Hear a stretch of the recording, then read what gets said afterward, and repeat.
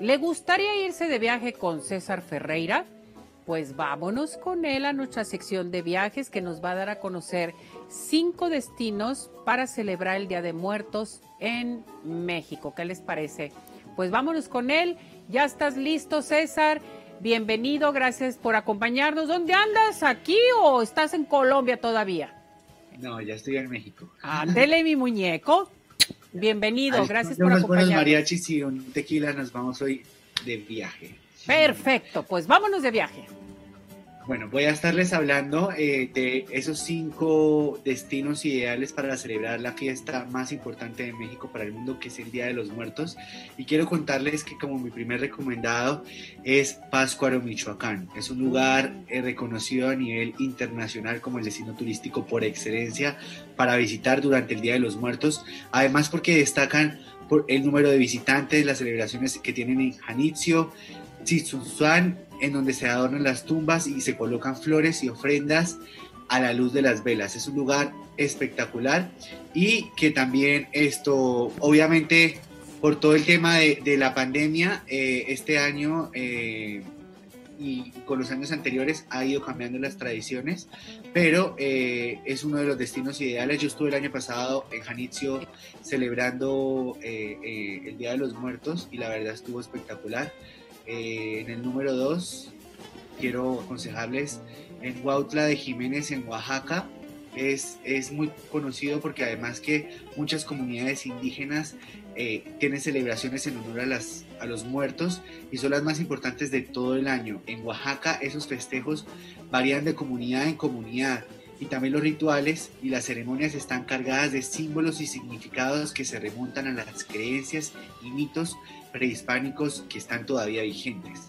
Además, esa celebración empieza el 27 de octubre y termina el 2 de noviembre y se considera una fiesta de espiritualidad, música, gastronomía y mucha magia.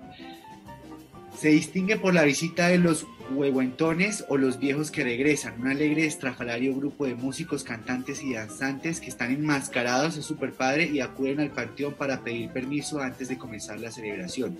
Además, pasan la noche bailando dentro de las casas en donde se les considera portadores de mensajes espirituales. Para las personas que quieran eh, vivir un poco más de la cultura de México y conocer otro tipo de tradiciones, ese destino es súper recomendado. En el tercer lugar, Pomush en Campeche. Las celebraciones en honor a los difuntos en la comunidad de Pomush se distinguen por una práctica mortuoria de origen maya, que consiste, ellos desentierran los huesos de los difuntos, se, los limpian y los reacomodan, mientras que eh, ellos a, charlan con el espíritu del difunto para ponerle al tanto de lo ocurrido en la familia y en la comunidad durante su ausencia. Además, los huesos se guardan en cajas decoradas con manteles y paños coloridos que son cambiados cada año. Este ritual seguramente les va a resultar extraño para la mayoría, pero en Pomush se cree que es una costumbre fundamental para garantizar el bienestar de la comunidad durante todo el año.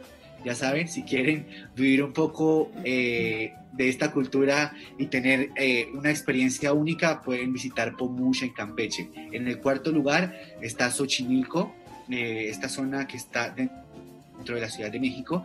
Se llena de color y alegría durante la celebración del Día de los Muertos. Las trajineras se decoran y se iluminan con velas. Además, se cuentan leyendas, se exhiben altares, hay músicos por todas partes, rinden homenaje al trabajo artesanal local y se realizan recorridos, fogatas y eventos culturales. Además que también eh, casi que todos los años hay una obra que siempre se ha distinguido que es La Llorona. Otros lugares en la Ciudad de México para celebrar el Día de los Muertos está el barrio mágico de Mixquic, la ciudad universitaria y el parque ecológico de Xochitla. Y en mi último recomendado, la Huasteca Potosina en San Luis Potosí.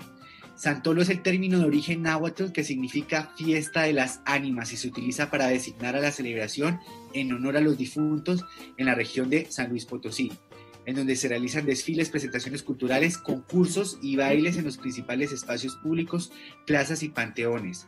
Además que eh, estas, estas costumbres tienen aproximadamente 3.000 años de antigüedad y son reconocidas por la UNESCO como, Patrimonio Cultural y Material de la Humanidad. Se realiza en comunidades de origen náhuatl y tenec, como por ejemplo Axtla de Terraza, Ciudad Valles, Coscatlán, San Antonio, San Martín, San Vicente, entre otros. quiero contarles que eh, este año por el tema de, la pandemia, muchas eh, tradiciones no se van a poder llevar a cabo por, el tema del aislamiento preventivo. Entonces, esto, pues hay que seguir las instrucciones de las autoridades gubernamentales y locales y yo creo que es celebrar estas fechas en familia o, tratar de, estar lo más alejado del contacto masivo de personas. Entonces, estamos contando, eh, les estoy dando recomendados de lugares que han sido eh, pues icónicos en la historia de México para celebrar el Día de los Muertos y que, y que, y que he tenido la posibilidad de visitarlos en años anteriores, pero pues lo que les estoy contando probablemente se va a variar muchas cosas por, por todo lo que está pasando con el COVID.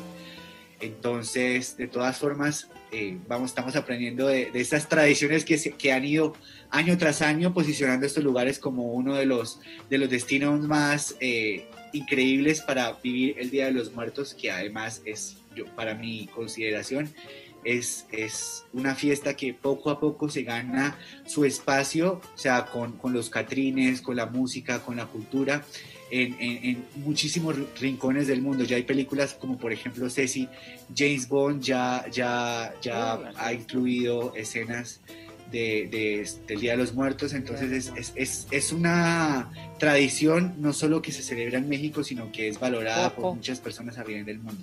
Coco, también mi muñeco, esa película que yo la voy a ver el fin de semana otra vez. Oye, es que esto es bien importante, fíjate, nos dice sobre la pandemia, lo que estamos viviendo, pero recordar es vivir, o sea, recordar eh, el año pasado que mucha gente posiblemente estuvo en estas partes que tú mencionas, me acuerdo de Xochimilco, me acuerdo de Páscuaro, en fin, pues hay que volverlo a recordar y qué mejor en familia platicarlo, subir fotos, estuvimos el año pasado aquí, o hace dos años, hace tres años, ahorita pues a distancia, ni modo, lo tenemos que hacer. Todo esto nos deja experiencias muy fuertes y que tenemos que valorar lo que teníamos anteriormente en un momento dado, ¿cierto o no es cierto, César?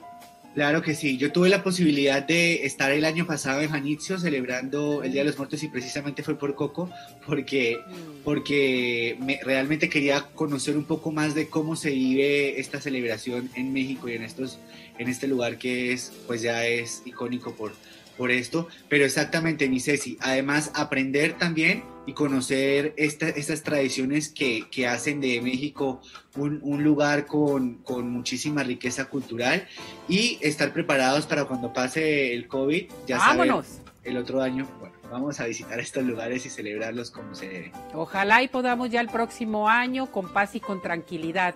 Mi muñeco, si necesitamos eh, verte, platicar contigo, ver todo lo que haces, a ver, platícanos dónde te encontramos, tus redes, tu plataforma. Bueno, primero que todo, ustedes saben que yo todos los jueves me los llevo a viajar en Arriba Corazones por México, por el mundo y realmente es un espacio donde, donde viajamos a través de nuestra casa de una manera segura y también conocemos ciertos, eh, ciertas culturas, tradiciones y destinos super padres, pero también me pueden encontrar en las redes sociales Instagram, Facebook, YouTube y Twitter como Caesar Ferreira. Los invito en YouTube para que vayan a mi canal y disfruten del especial que hice del Día de los Muertos en Janitzio y en, y en, y en otros, otros lugares de México. Entonces, bueno, ya sabes, Ceci, muy bien, muchísimas gracias César, bienvenido a México. Gracias por acompañarnos, por estar con nosotros, mi muñeco. Felicidades, besos y abrazos. Gracias. Bueno, qué bonito es recordar, qué bonito de veras toda esta tradición del Día de Muertos. Y dicen que los mexicanos nos reímos de la muerte. Qué barbaridad, Dios mío. ¿Será cierto? Vámonos al otro.